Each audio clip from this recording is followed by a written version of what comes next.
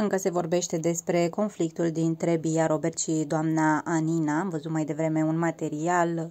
Doamna Anina pe de o parte vorbea despre acest conflict, Bia pe de altă parte în bucătărie.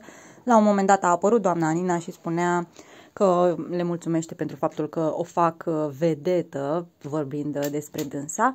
Și în live Robert a luat atitudine din nou și a spus mamei că Uh, a reacționat acasă de 10 ori mai rău decât a făcut-o în emisiune, tot din cauza dumnea ei să-și aducă aminte. Și de asemenea a mai spus despre doamna Anina că a arătat culmea ipocriziei.